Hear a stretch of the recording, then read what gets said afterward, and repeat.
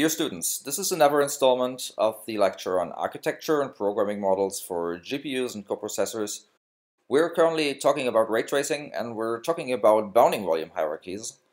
And we want to understand how to construct high quality bounding volume hierarchies. And then later we also want to uh, understand how to do this really fast. Yeah, the last session we talked about BVH construction and we learned about the top-down construction heuristic and that there are so-called uh, split plane heuristics that help us identify potential uh, split candidates where we uh, perform splits in order to further subdivide the given domain. And let us just gain a bit of more intuition how that actually works. Say for instance we were given this very simple scene here that is comprised of four triangles, like those four triangles here and we're asked to build a, a binary BVH, a BVH of AABBs, so we're gonna end up with bounding volumes that are just axis-aligned boxes. And we're asked to uh, perform top-down construction. So the very first thing that we do in all cases is um, we just uh, construct the uh, bounding volume, so the axis-aligned bounding box, around all the triangles in the scene. So this is where we start with. And then we have our very first decision to make, and the this decision we have to make with all the uh, different construction schemes. And the question is really along which axis we split. Like, and there are a bunch of different ways to decide that. But what usually uh, what people do is like a very simple simple heuristic. Like for instance, just pick the axis where the bounding box has this longest side. Yeah, and based on that heuristic, we would just pick a split along the vertical axis, right? So we would try and split the uh, plane along the vertical axis, which in our case also makes sense just because of the geometrical arrangement of the of the primitives in the scene. So in very very uh, simple uh, heuristics to determine a split candidate could just look like something like this, like where we just perform middle split, like we basically just find the like the midpoint of the uh, longest side that we're splitting along, and we will just find the midpoint and then construct a plane through that and then we just put everything that was left uh, to the to the uh, plane. We put it to the left, and everything that's right to the plane, we partition it to the right. And then in certain cases, we would have just to have to make a decision. Like we're not constructing a KD tree here, where we would put this triangle into both the left and to the right half space. But here we just have to make a decision. So we'll then uh, later construct bounding boxes, and it actually uh, doesn't matter if those bounding boxes straddle the, the split plane, right? So that doesn't even matter. So the split plane is really just for orientation so that we find out where, like roundabout, to place that split. And then we will construct uh, bounding boxes for those uh, child nodes that we just computed and they would end up being something like that, right? Like you can see that the bounding box would straddle the original split plane a bit, but it's just fine because the um, split plane was just there in order to guide our, our bounding box construction. Yeah, then we would um, do this recursively as our top-down heuristic is a recursive algorithm. And we would maybe split again, or we would use um, some type of termination criterion.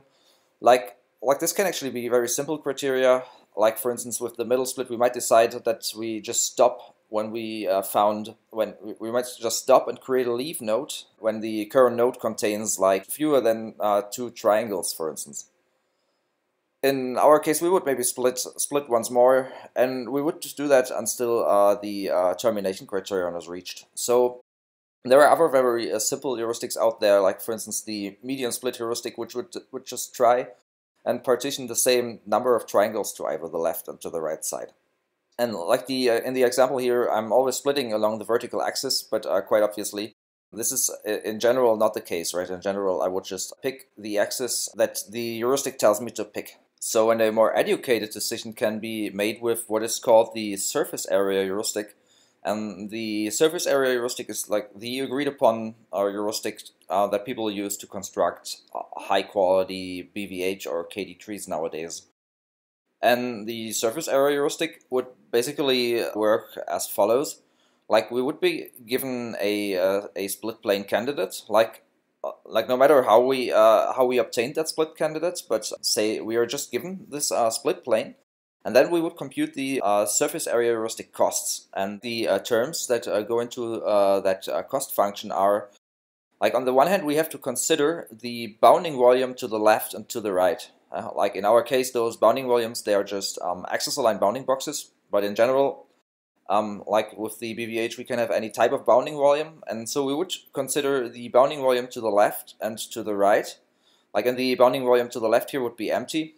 And the bounding volume to the right would be the, would in our case just be the axis-aligned bounding box around the uh, four triangles. So we would be given that.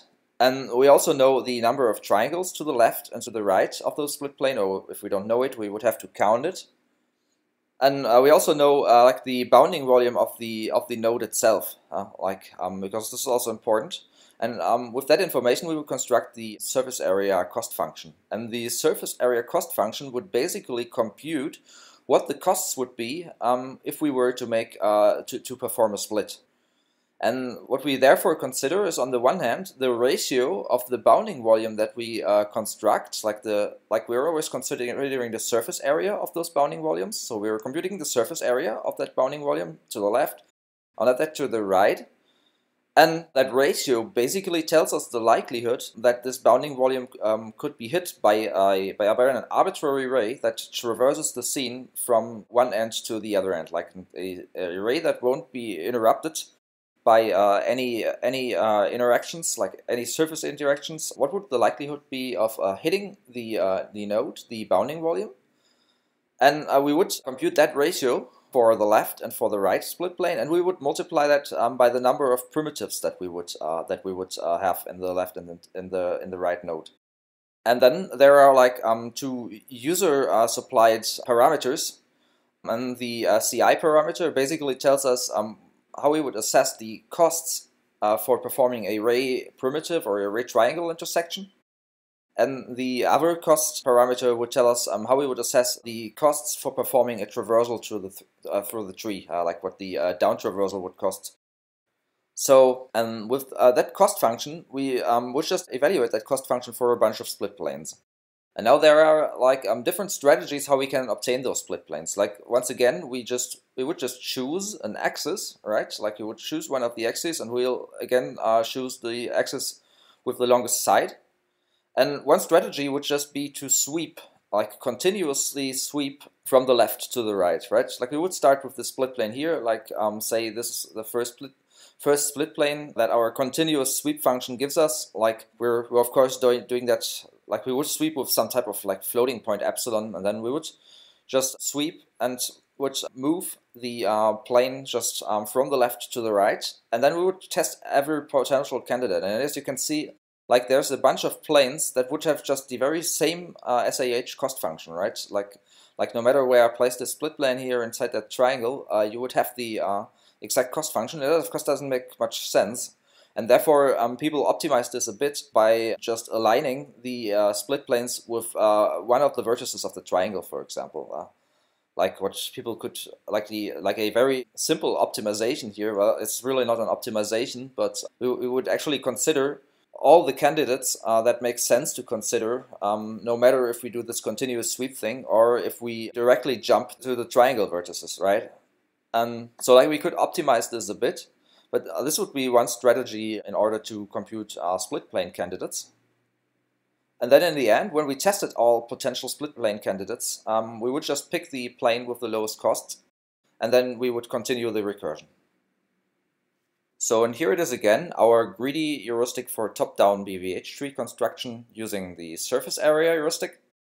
And why is this heuristic greedy? Yeah, well, because when we um, determine a split candidate and then we eventually we pick a split candidate, we only do this on one level, right? We're never like considering splits that are on lower lower levels, but we are only considering splits that are on the current level, and therefore uh, we have this greedy heuristic where we like determine split planes somehow using sweeping, for instance, and then we determine the SAH costs and compute two uh, new nodes and those new nodes are then uh, recursively split again and again until we uh, meet some type of uh, type of termination criterion. And we already learned about the sweeping approach, where we uh, determine split plane candidates by just um, picking one of the sides of the bounding box, like arbitrarily, like the longest side, for instance, and then we just move planes from the left to the right, right? Um, then uh, when we perform sweeping, like uh, we, we eventually will pick a split plane candidate, and then the next thing that we have to do is uh, we have to take all the primitives that are to the, to the left and to the right, and we have to partition them into the subnodes, right? And so that we can later continue the recursion. And in order to do so, uh, people usually use very simple O of n uh, partition algorithms. Like um, if you recall what people do for quicksort, like if you um, think back to computer science one and uh, recall how quicksort is implemented, like there were very simple in-place uh, partition algorithms that uh, could be that, that were used, and we would use a very similar algorithm actually in order to partition the trees to the left and to the right. Like how exactly that works, um, how exactly we partition isn't so important for us here, um, apart from the fact that it is relatively costly, like it is um, linear in the number of primitives. Um, that of course means the costs that we're having for the construction, which will translate into construction performance, and which uh, will this uh, impact yeah the um, the time it takes to rebuild a scene in case like when we're having a dynamic geometry or so. And uh, this is very much uh, dominated by the upper levels of the tree, right? When we construct the upper levels of the tree, we have um, many triangles, like on the upper level, we have the full set of triangles, like when we're given a 3D model that consists of a million triangles, we have to partition uh, all of those to the left and to the right. And then we, when we perform the next split, we're like on average, like, like it's kind of likely that we already halved the problem size so on each individual tree level, we only have to partition only half the number of triangles, like on average. So that means that the costs for partitioning are relatively high on the on the upper levels of the tree, and are relatively low when we um, reach the leaf nodes of the tree. And the same observation uh, can also be made for the sweeping uh, approach. Like on the upper level, like when we, for instance, use this um, continuous sweeping, like this very naive approach, this is uh, just limited by the size of the of the bounding box. Like we're picking the longest side, and the longest side on the upper level of the tree will be longer uh, than the longest side for a leaf node, usually significantly longer. And even if we do this alignment thing, where we just say we place split planes through one of the triangle's vertices, or maybe through all of the vertices, then we're bounded by the number of triangles in the node that we're trying to split, right? And on the uh, upper, like when we're splitting the root, the root node, then we have many more triangles than when we're splitting a leaf. And therefore, um, there are approaches out there that um, actually discretize the domain of the node that we're splitting, like discretizing it into a fixed number of bins. And then the idea is uh, that you that you um, discretize the node into bins and test only split plane candidates that are at the bin boundaries. Huh? And how that works uh, can be shown in a very simple example. Like this here would be our um, sweeping algorithm. And in order to test every uh, possible split plane candidate, we would just like uh, sweep that plane from the left to the right and then compute all the bounding boxes and compute the costs, right? And this would just be uh, limited by the number of triangles. Like here we have four triangles, but if we had a million triangles, then we had to like uh, at least test um, candidate planes that are aligned to each of the uh, triangle vertices uh, and so on. And in order to improve this a bit, people use so-called binning. That is, they uh, take the domain of the node that we're currently splitting and discretizing that into bins. And, and then only test candidate planes that are on the bin boundaries and construct potential child nodes from that. And like the idea here is really that no matter where in the hierarchy you are, you use the same number of bins, right? Like when you're on the uh, on the root node and have one million triangles to partition, you use four bins. And when you're on a on a leaf node and only have like ten or like a handful of triangles to partition, you also use uh, four bins. And that of course reduces the complexity quite a bit. And binning actually has been quite popular with the community. Like like there were uh, were papers from a couple of years ago, and they show that binning actually doesn't have much an influence on tree quality.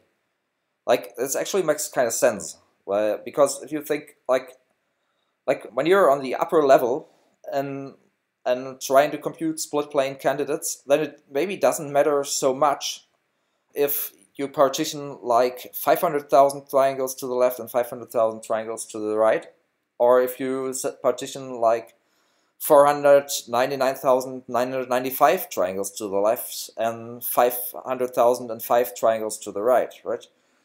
Like assuming that the triangles are relatively evenly sized so that they don't differ very much in size, then this doesn't that's probably not make so much of much of a difference because the uh, two split planes that we consider might actually be very similar and like like we we might still pick the one with the better costs, but uh, then we also have to um, remember that we're using a greedy heuristic. Like we could actually run into some uh, local optimum that is actually not the global optimum. So that decision is is anyway still kind of arbitrary which plane we pick. But uh, this is to illustrate that on the upper levels, it's probably not so important which planes we pick, and and on the lower level, it's probably more important because like when we're about to partition a node that only contains like a handful of triangles, then it might make a huge difference if we um, put one triangle to the left, four triangles to the right, or if we, um, we uh, perform a different split. So binning has shown to be quite effective and produce uh, trees that are um, very high quality, like even compared to the uh, sweeping approaches that are much more compute intensive actually. So few marks regarding the surface area heuristic, like the greedy heuristic, um, we, we already discussed that uh, top-down construction employs a greedy heuristic. And like what people alternatively do is um, they use so-called um, like like they they they try to refine those trees using tree rotations, like where you basically pick a subnode like like a, a, a subtree and then um, rotate nodes inside that tree, aiming to improve the uh, global surface area heuristic. Um, with that, you can like further reduce the surface area surface area costs um, on a global scale, but that of course also comes at higher construction costs.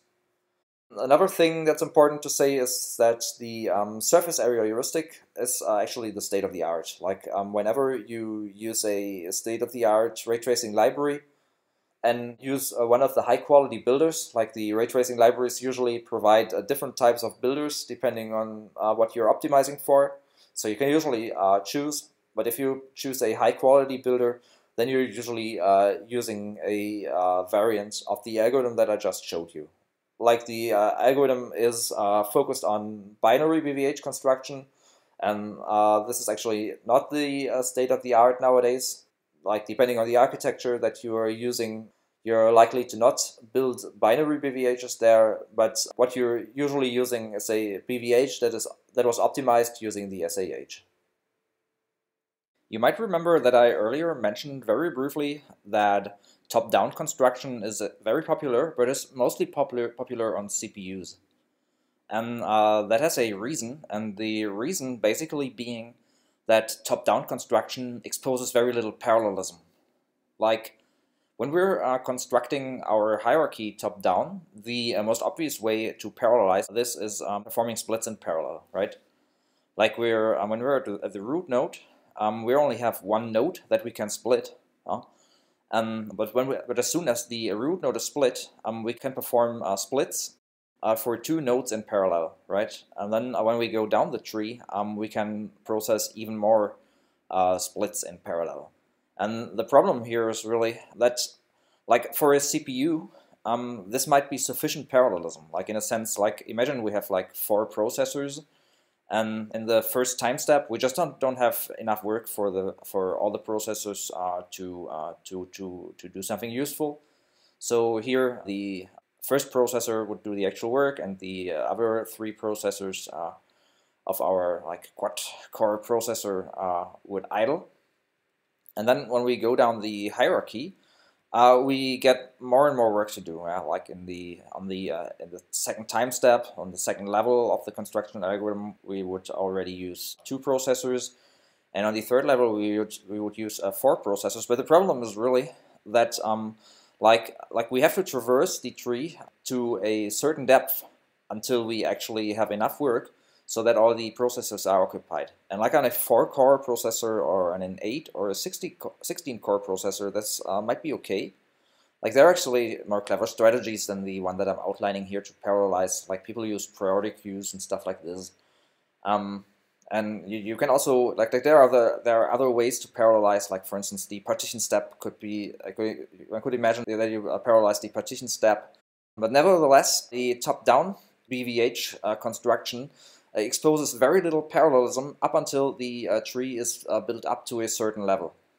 And that is actually very bad for GPUs, where you have like uh, thousands of threads that you have to give some work to do, like so that they can uh, can can efficiently work in parallel.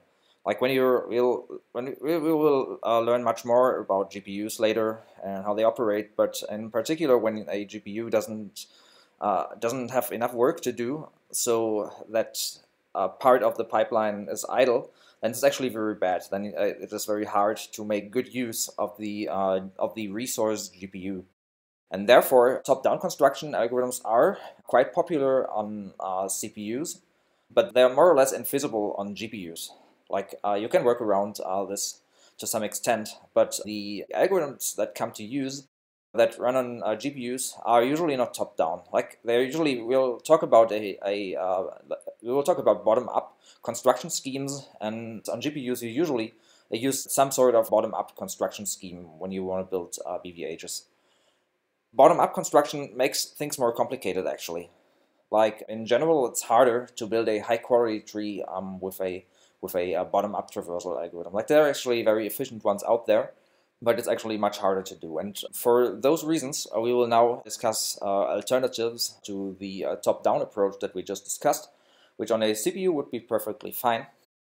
And uh, as soon as we're on a many-core architecture with many cores that need to perform work simultaneously and otherwise will, we will not be making good use of the chip, they are um, more or less infeasible and therefore we'll now have a look into bottom-up construction of BVHs. And I want to keep our discussion of the bottom-up construction schemes relatively short, so I'm just going to sketch the basic principle here, uh, like the principle that is underlying many of those bottom-up construction algorithms that have very high uh, construction performance. Um, for in under, order to understand the basic idea of many very popular bottom-up construction schemes, we should consider certain properties of the Morton codes, the space-filling curves that we discussed during one of the exercises. Like, um, those were the um, Morton codes that we discussed, and we remember that we were able to construct those Morton codes using an integer representation of their x, y, and uh, in 3D of their z coordinates, and then performing the so-called in-shuffle operation, and that would give us the uh, so-called Morton codes. And there's actually a certain properties uh, to those Morton codes in that, in that uh, the Morton codes inherently form a hierarchy. And for that, we just consider subgroups of Morton codes. And we can observe that there is a natural a split through that subgroup and that it is possible to identify this um, split based on the um, most significant bits of the Morton codes that represent the subgroup. Like as an example, this subgroup here um, can be uh, fully uh, indexed with Morton codes uh, using 4 bits, right? So um, that is the uh, um, group is representable with 4 bits. And if we uh, check the Morton codes of the, of the group, then we find out that uh, in this subgroup, um, there is a potential split, like a, an inherent hierarchical split, where the most significant bits, so um, when we, go, we, come from the left here, where the most significant bits differ so the same is true, like for, for instance, if we were to uh, consider this subgroup down here, right? Like if we have only that uh, bottommost subgroup here, and we inspect the um, most significant bits, like the subgroup is representable using three bits, and if we just uh, check the um, most significant bits of those three bits of the subgroup, um, then we find that there is a potential split just where the most significant bits differ, yeah? right? As we here, we're having a zero here and a one here, um, that means we can split along this axis here and uh, at this very position. And the very same thing is true for this this subgroup too, right? So we can just identify um, the position where to split. We can identify that position by inspecting the most significant bits and uh, where the most significant uh, bits differ in regards to the number of bits that we need to represent the subgroup, we can perform a split. As a matter of fact, uh, this is the, the split that this implies is actually a middle split. And uh, like earlier, we learned qu quite a bit about um, different types of splits and that we would like to prefer uh, splits that were uh, constructed using SAH And so this is uh, definitely a, an inferior uh, type of splitting the primitives, of, of splitting them up into uh, different groups and of creating a hierarchy. But it is, it is very powerful in that it allows us to build uh, hierarchies from the bottom up. Like a typical construction scheme would go kind of as follows. We would just uh, take all the triangles in the scene, right, and then we would um, assign them 3D uh, Morton codes. Like um, like they were basically representable with 30 bits. That is, we would store one integer per triangle, and that basically means we now have an have a um, we, we we've basically now organized our triangles on a on a uniform grid. Like we need to take one representative point of those triangles. Like the triangles actually have uh, are like our entities in space, and it is not possible to to generally order them. So we have uh, to define how we order those triangles, how we how we represent the order on those triangles.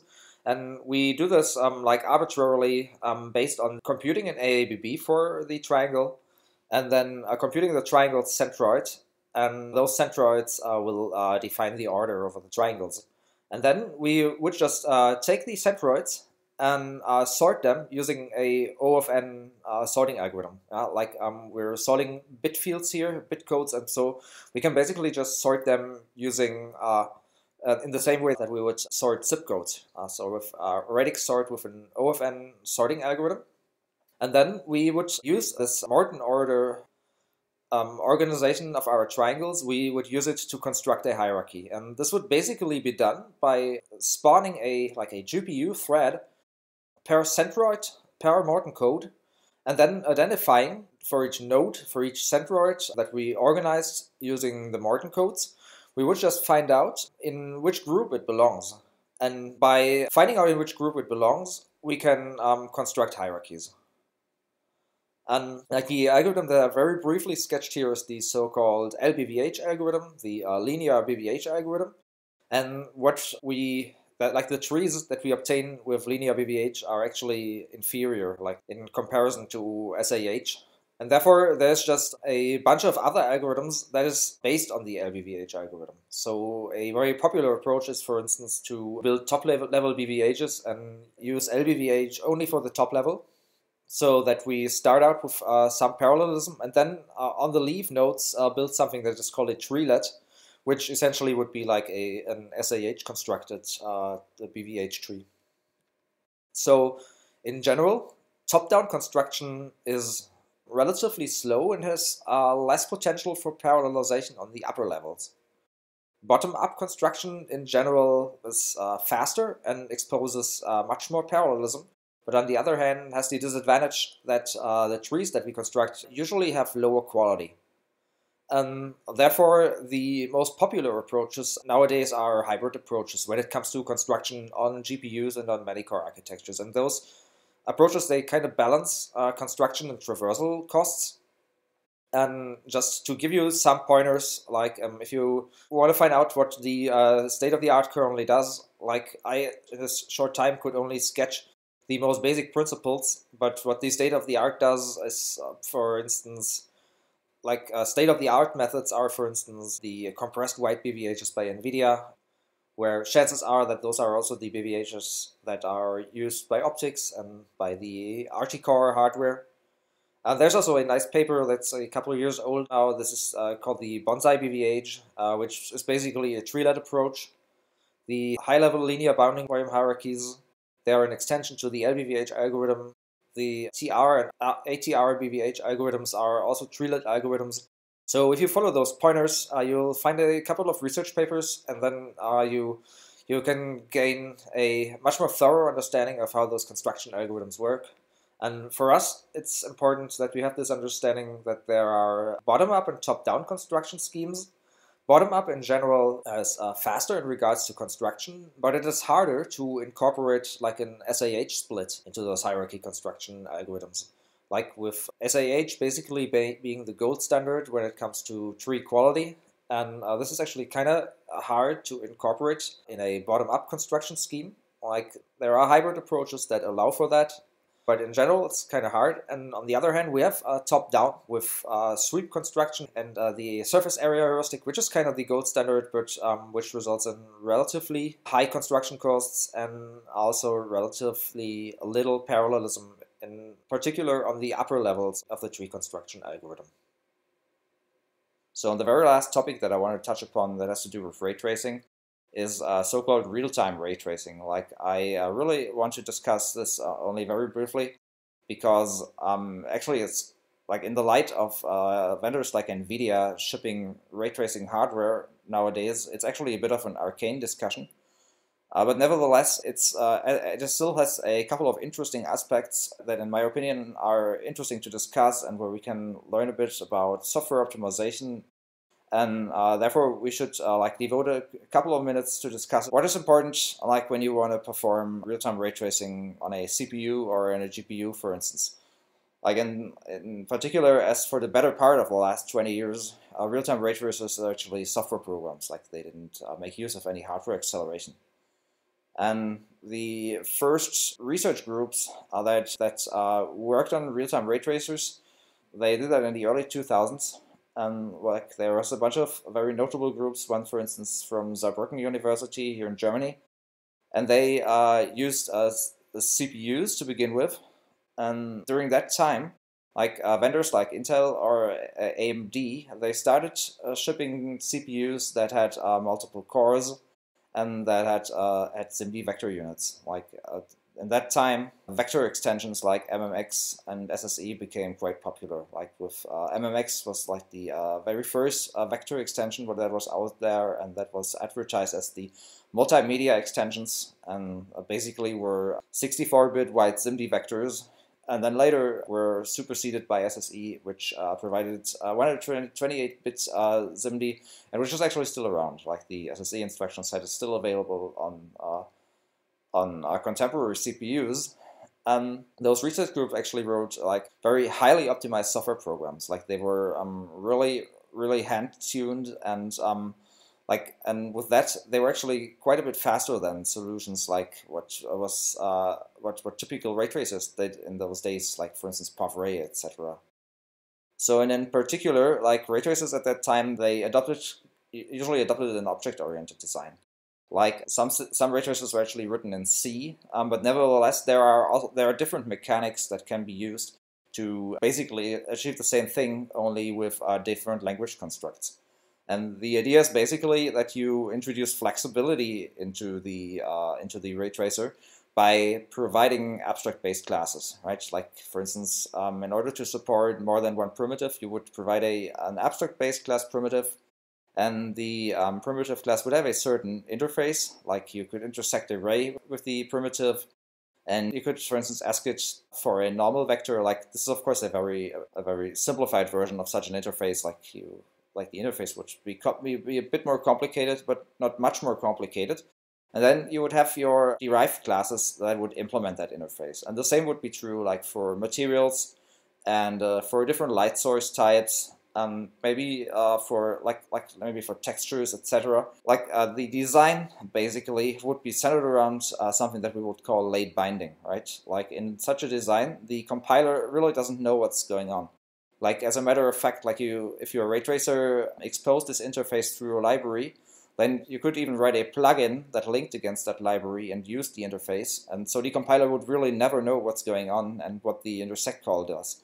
Like, and for instance, imagine we have a, a BVH traversal routine. So in the innermost loop of your ray tracer, the BVH traversal would call intersect with the with the uh, triangle primitive or whatever primitive you are you have. And in the innermost loop, you would have those virtual function calls. And those virtual function calls, they have uh, several issues. And on the one hand, you have uh, late binding, and therefore the compilers cannot optimize. So in particular, when you write a real-time ray tracer, what you want to do is you want to make use of inlining. That is, um, you have lots of small functions, like for instance, material shading functions, like the Lambertian shader is usually like a, a one-liner, like a single dot product. And it's a good idea when you can if you can inline all that, and it's a really bad idea when you have like um, lots of function call overhead.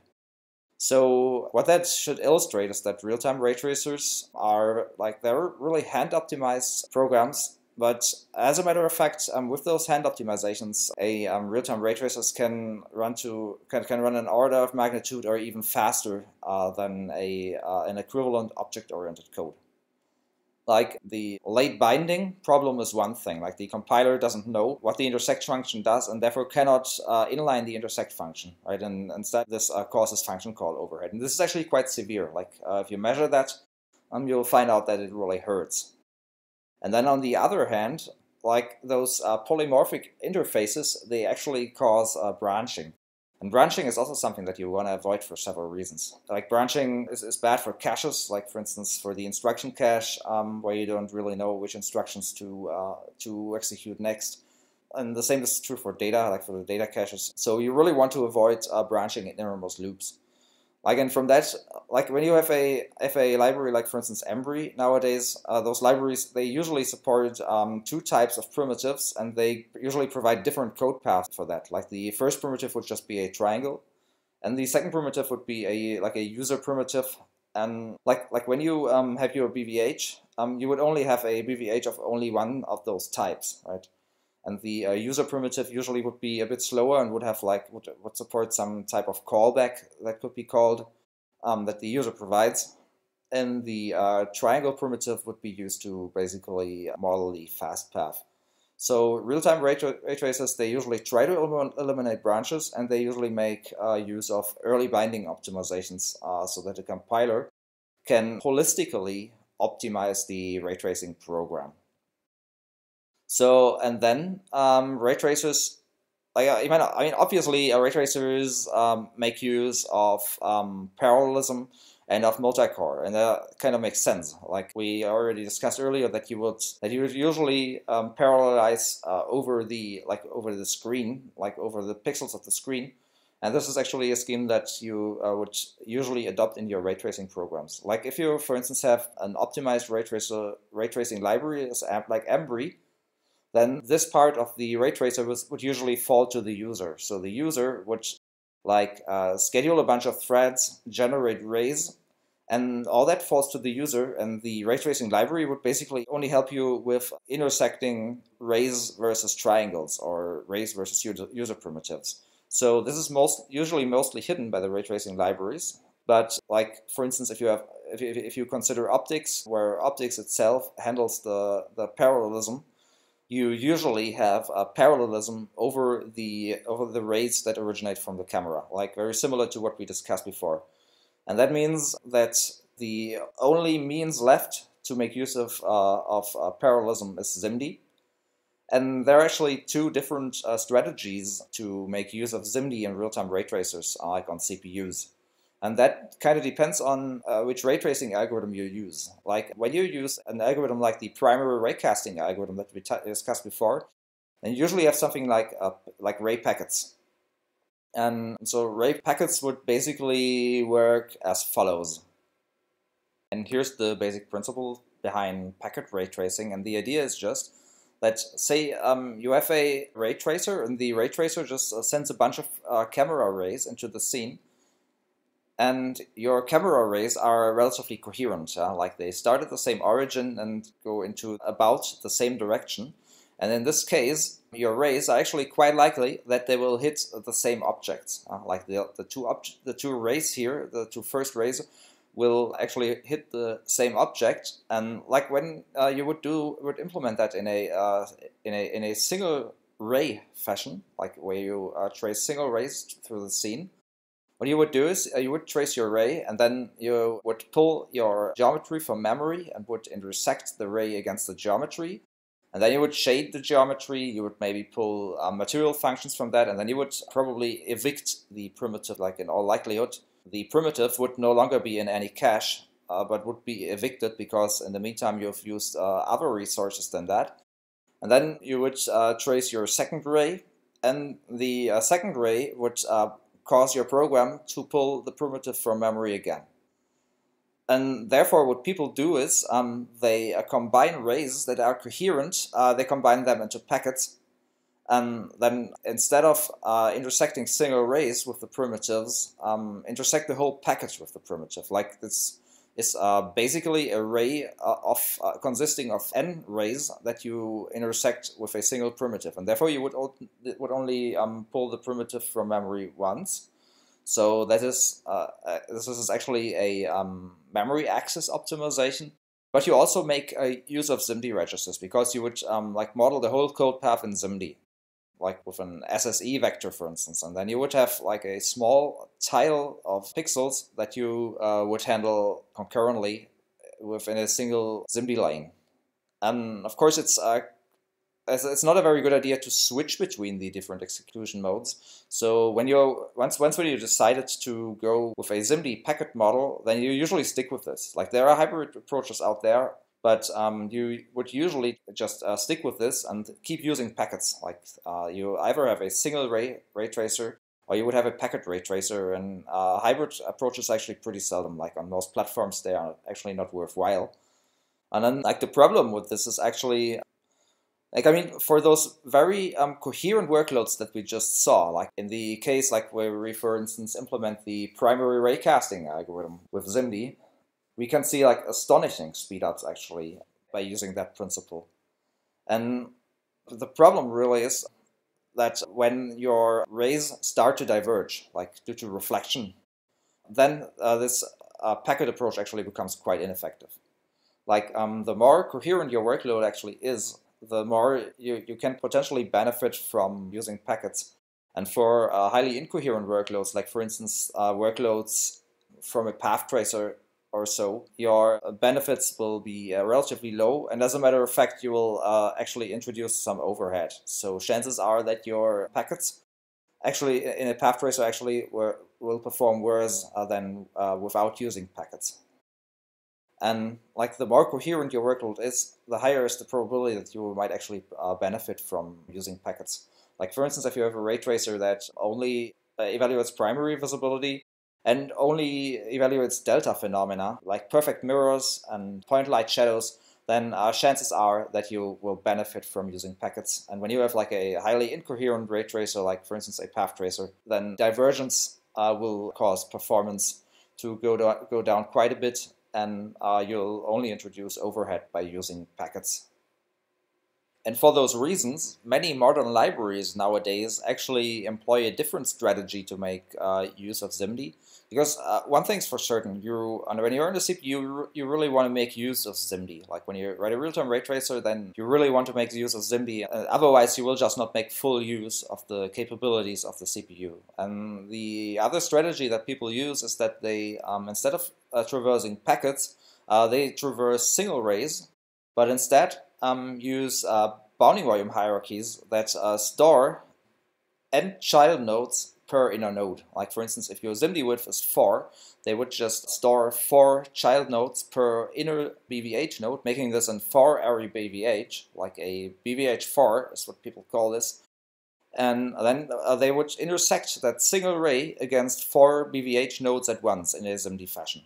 And then at the leaf nodes, they would like store four triangles or a multiple of four triangles. And then um, instead of, of intersecting single rays against single triangles or a packet against a single triangle, they would instead intersect a single ray against four triangles at once. And that strategy is actually that strategy actually lends itself um, much better to um, divergence in the ray workload because this is completely independent of uh, how the rays uh, traverse through the scene, right? No matter how the, the, the rays traverse through the scene, they will still uh, go through the BVH, and uh, this uh, strategy um, basically assumes that the rays are completely independent. That's actually pretty helpful. It's, it's uh, a strategy like when you have a very coherent workload, then you usually see better performance from the packet approach.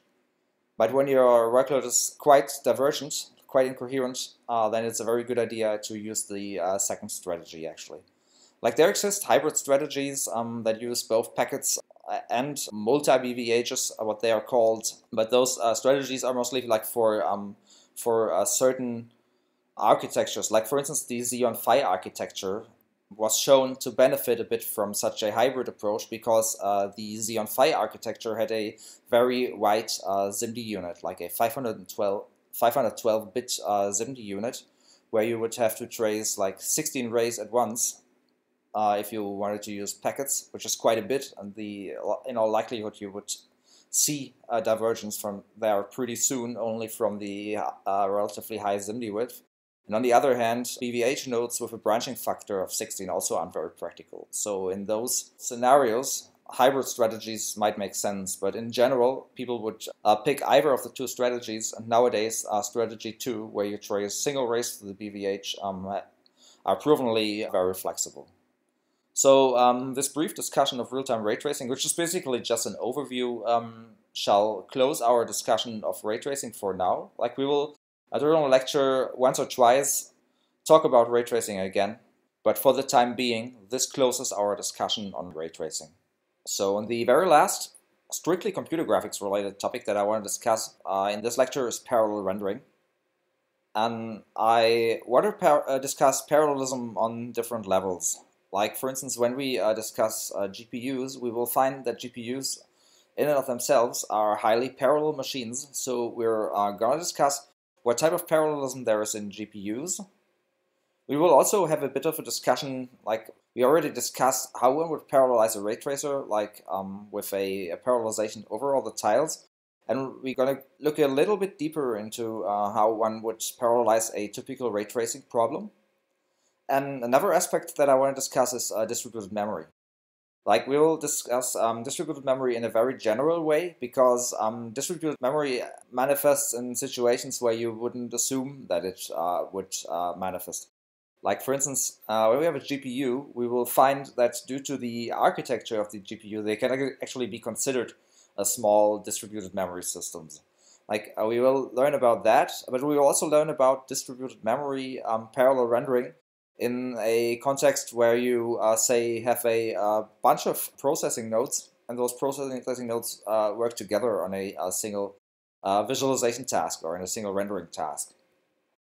So very generally, um, I want to discuss distributed memory in a fashion where each processor like uh, holds like a bit of the data that is uh, relevant to the visualization problem. And there are several distinctions that can be made in that either uh, you have a data a, a processor that is um, just responsible like for a certain part of the geometry or you can have processes that are um, like have all the data um, for a certain part of the image like like this is uh, like a, a, a, general distinction that you make when it comes to uh, data parallel rendering.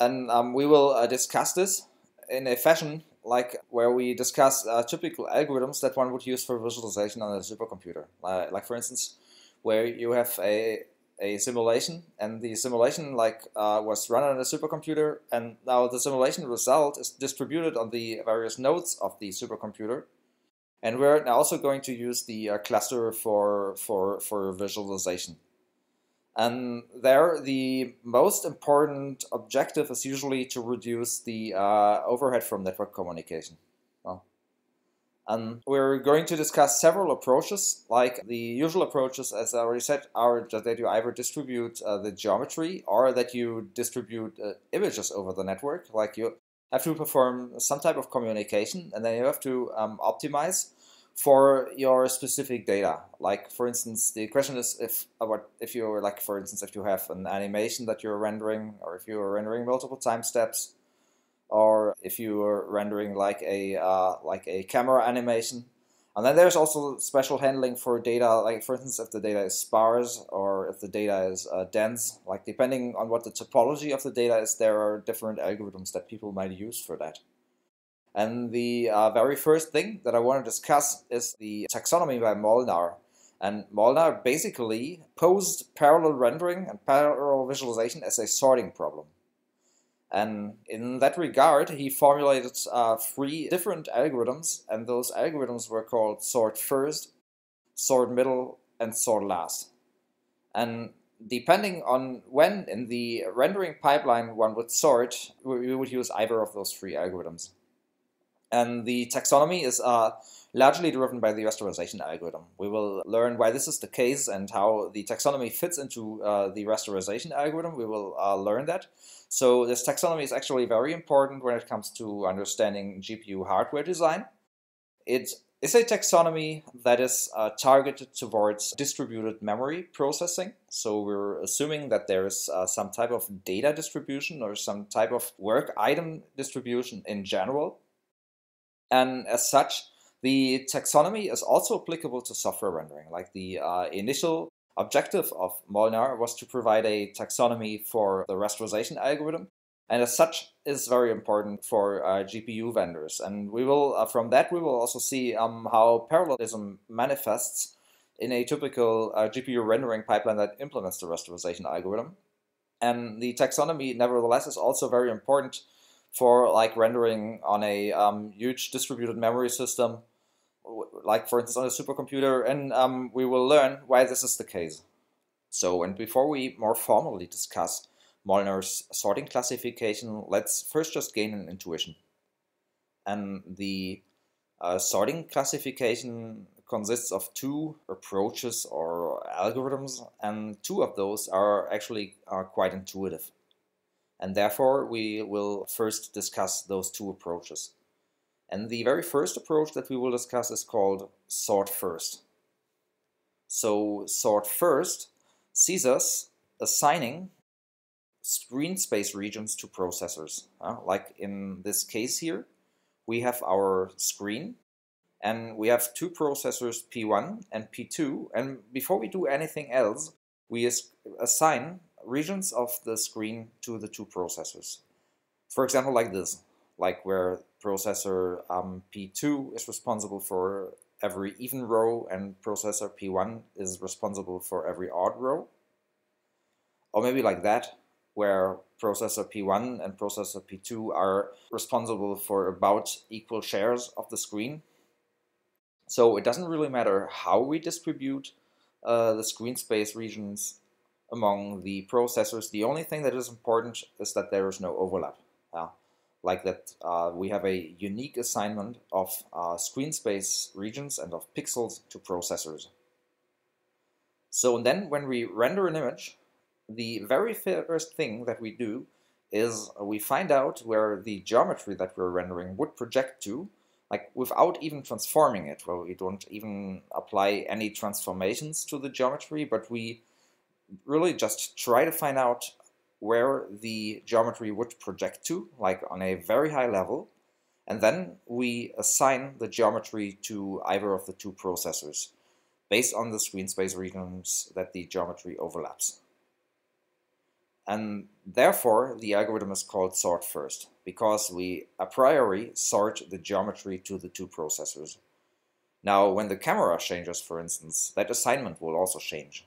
So every time when we render a frame, we will sort the geometry uh, to the two processors.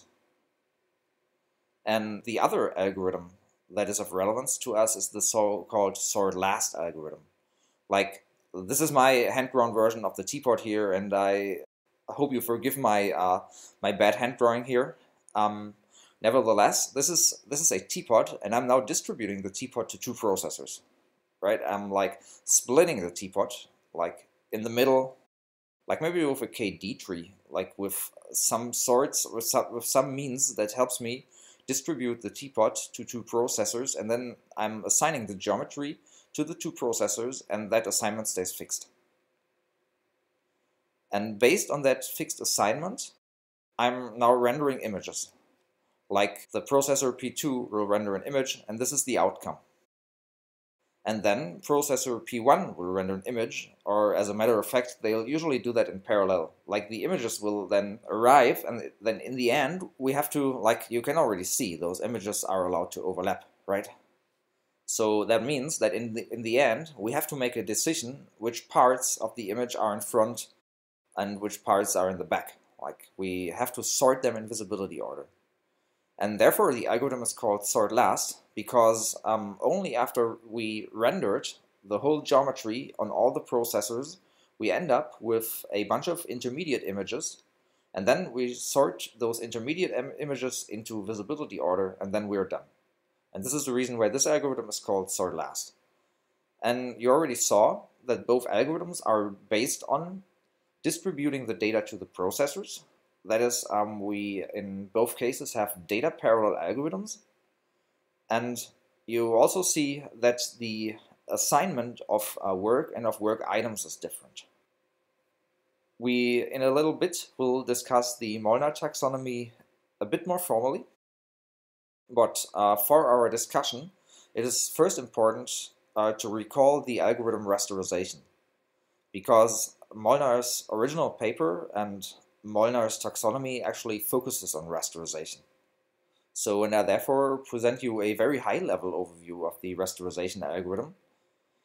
Like, this is motivated by the algorithm rasterization 2, and it consists of four stages, and the first stage I just called the vertex stage, and this is the stage where uh, the geometry is transformed and where primitive assembly happens.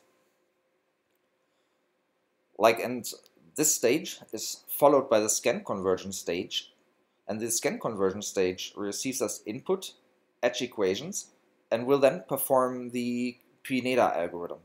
Like, it will take the edge equations and turn them into fragments. And those fragments are passed on to the fragment stage, and the fragment stage will light all the fragments, will perform shading operations on the fragments, and will presumably run fragment shaders, etc. And then uh, we'll pass the fragments to the so-called compositing stage. And the compositing stage is what was formerly known as the blending and as the depth buffer operation. So this is a very high-level overview of the algorithm rasterization, and we will adopt that high-level overview to understand the Molnar taxonomy. So and based on those prerequisites, it should now be possible to understand the Molnar taxonomy in its entirety. Like sort first, we already discussed, where we basically distribute untransformed primitives to processors. Like the sorting phase is pretty much the very first thing that we do. And this is followed by like the rasterization algorithm. Like we sort and then we perform the rasterization algorithm. And the sort is only precluded by something that I call pre-transform here and what Molnar also calls uh, pre-transform, which is a very simple basic step to find out where the geometry belongs to, like um, where in screen space the geometry would project to. Like the approaches that are used here are actually pretty simple. Like in fact, what people would usually do is they would, um, for instance, not um, pre-transform the whole geometry, but the uh, whole geometry would, for instance, be organized in some sort of tree or like uh, like on a uniform grid, and then we would like only project the uh, the AABBs uh, that belong to the grid cells or to the KD tree uh, leaf nodes uh, to the to, to screen space, and that would would help us find out like like with that we could very easily and very um, very efficiently find out where the geometry projects to and then we sort the geometry to the processors. And then we're in regards to communication we're done right? Like what you can already see from the drawings is that Molnar's taxonomy is pretty much targeted towards how you would implement a like a like the rasterization algorithm presumably on a GPU this will become more obvious when we discuss the next sorting approach, like the sort middle approach. But you can already see here that um, this is like a this uh, illustration is actually um, uh, very much inspired by an illustration from Molnar's paper, and you can already see uh, that uh, this is very much targeted towards GPU architecture. So what we're talking here is the GPU as a distributed memory machine with uh, several processors uh, that have um, that uh, process a certain share of the memory. So, and the problem here really is that we have to redistribute the data all the time. Like, and in all likelihood, like the geometry that we're dealing with nowadays, at least, can be pretty huge. Like, we often have like millions of triangles. But when we're in a setting like where we have only very few geometry, and like in the very early days of GPUs and of um, graphics programming, we usually had very little geometry. Uh, it could make very much sense to distribute the uh, geometry. And then there is also a, another thing that we can potentially make use of is so-called frame-to-frame coherence. Like, uh, it is true that the geometry assignment will change over time, like whenever we move the camera, the geometry will change. But it will um, change in a very coherent way. Like, once the geometry is uh, distributed and we move the camera only a little bit, then it's kind of likely that we don't have to distribute the geometry so much, but that the geometry is already where it belongs because um, it uh, was there uh, during the last frame and the um, the, the new frame didn't change so much um, in regards to the data distribution. So this might actually not be so bad, but in general, uh, we have to deal with uh, distributing the memory all the time. So one thing to note is that people sometimes also um, refer to sort, sort first when uh, the data is not distributed, like when we're not in a distributed uh, memory scenario, like for instance in the ray tracing case we discussed before, where we parallelized over all the pixels, we kind of implied that the data is uh, either shared or that the data is replicated on all processors. So, and in certain certain cases, um, the definition of of uh, what uh, people call sort first is actually kind of sloppy. Like um, people are like a bit sloppy about uh, how they define sort first, and you will also um, hear people call um, approaches sort first, where the data is either replicated or where the data is shared. But according to Molnar's um, original taxonomy, sort first implies that we redistribute the data, and we do so before we do anything else. So when the uh, next algorithm in this uh, taxonomy is uh, sort middle, and sort middle basically sees us uh, distributing edge equations. Like we're in the, the scenario that we're in is the rasterization algorithm.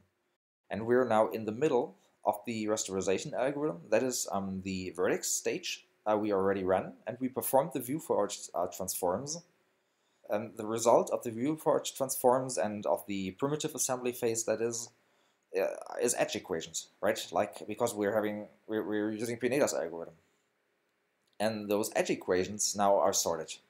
And the edge equations are projected to screen space in a very similar fashion that we earlier projected the uh, geometry to screen space, we're now projecting the edge equations to screen space. And that is, we're sorting the edges in order, like the edge equations in order. And then each processor has its own share of the um, edge equations.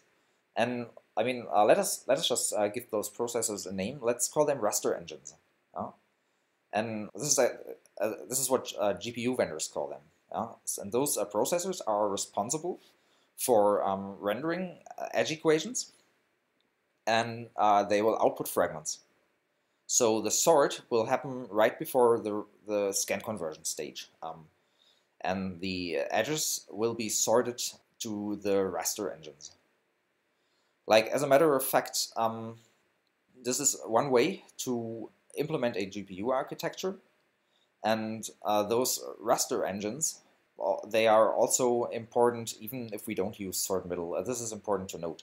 Like raster engines uh, really only mean um, we have uh, processors that um, that process edge equations, and here in this very case, the sorting step just happens right before we use the uh, raster engines. So this is basically sort middle. Like um, you can already see that whole algorithm only makes sense when we're talking rasterization, right?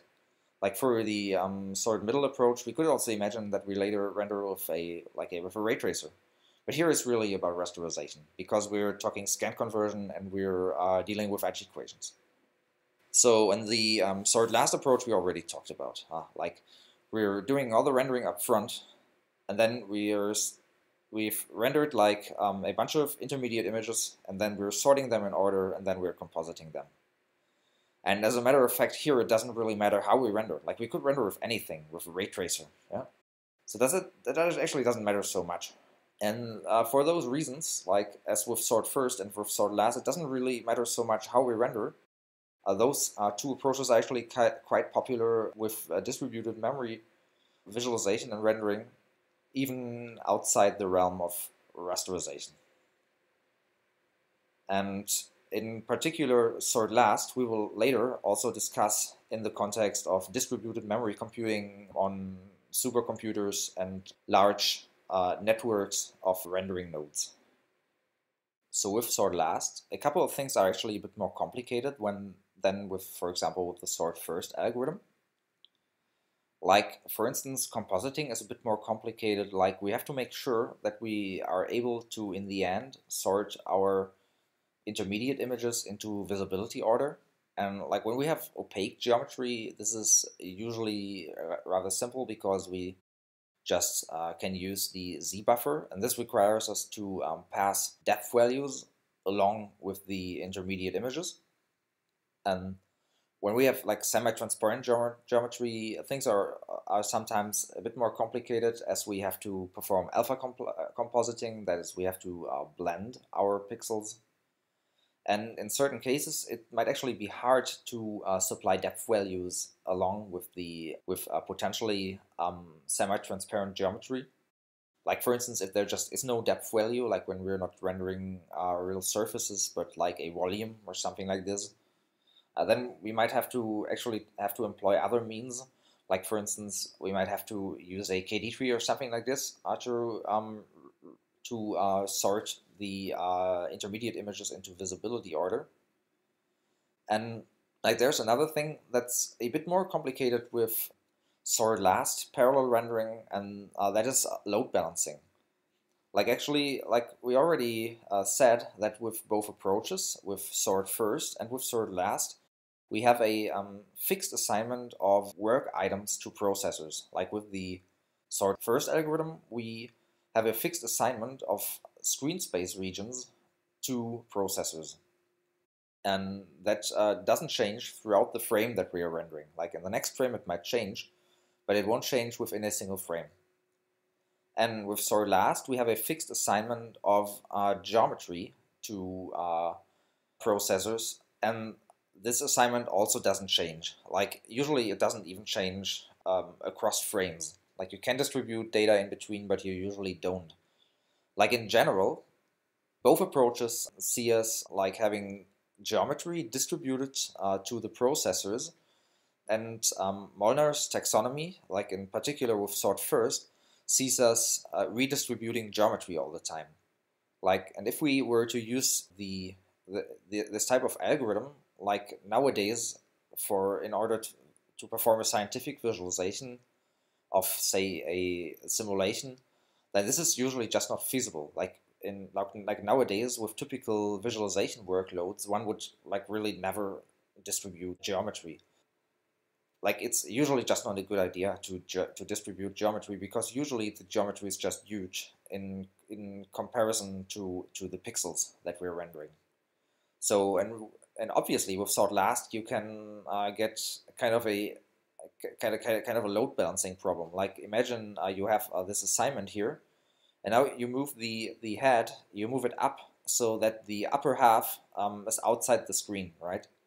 So that means the processor that renders the upper half of the uh, of the of the head now doesn't have anything to do because we like we will we will cull it very early on in the pipeline and we'll find out that we have nothing to do where the other processor does all the rendering for its uh, lower half. And then we obviously get a load imbalance because um, one processor idles while the other processor is busy. And those load balances we could actually only mitigate if we distributed memory, like if uh, distributed geometry, like if we were to implement something like work stealing, for instance. And those load balancing approaches are actually much easier to implement with sort first. Like for instance, consider this assignment to four processors here, like and you could very very well imagine that we move like uh, the whole scene to the left half of the screen and then those processors here would be would, would idle right? They'd have uh, no work to do and we have uh, the same problem that we had with the uh, sort last approach. Like the, with a very simple static load balancing scheme like this one here. We could mitigate the effect. Like with an with with a granularity of this here that we use for the for the uh, assignment of work items to processors, we would basically never run into uh, into this uh, this load balancing problem because um, it's quite unlikely that the um, that the whole geometry just falls uh, within a single row. Like and um, therefore with sort first we're actually much more flexible. But on the other hand, um, sort first nowadays uh, is kind of infeasible uh, for a distributed memory uh, context. Like in a distributed memory context where we distribute the geometry, um, it's nowadays really just not feasible to redistribute the data all the time. That is, um, people usually nowadays use sort first when the data can be replicated across the processors or when the data is shared, like as in, in real shared memory. Like as a matter of fact, sort first also allows us to implement those uh, nice um, uh, dynamic load balancing approaches here. Like for instance, uh, you would just subdivide the uh, screen space into tiles, and then you would um, like not not in the very beginning um, do the assignment of process of uh, processors to screen space regions, but you would rather put those screen space regions into a priority queue or into a queue in general, and the processors would just um, pull work from the queue, and that way you would achieve dynamic load balancing as um, the processors that have much work to do would just would uh, process fewer tiles, and the processors that happen to just get the tiles where there is not so much work um, would be able to process more tiles. Uh, and this can actually also be combined with other um, like adaptive refinement approaches, etc. But the real shortcoming of the sort first algorithm, like, it's really um, that it doesn't work very well with, like, when we were considering realistic workloads nowadays, doesn't work very well uh, when we want to distribute geometry across processors. Like when we're thinking of like a supercomputer where we're, we're visualizing a simulation result, for instance, uh, then sort first is usually not feasible unless we can uh, really replicate the data on all the nodes or have them in shared memory. Then sort first is actually a very good idea, like like what we did with our ray tracer earlier, like with the with the Whitted ray tracing algorithm, for instance, where we assumed we, the data was replicated or shared. That really makes, makes sense. But uh, when we have to redistribute the data, then people usually nowadays use sort last, and therefore, we will, in the next session, uh, talk about a lot about sort last. Like with sort last, the uh, problem that we will run to actually will be that um, rendering will not be so much of a bottleneck, but actually sending intermediate images over the network will, will be a real bottleneck. And therefore, we will talk about clever ways to uh, distribute the intermediate images over the network um, without too much contention. And all that we will discuss in the next session.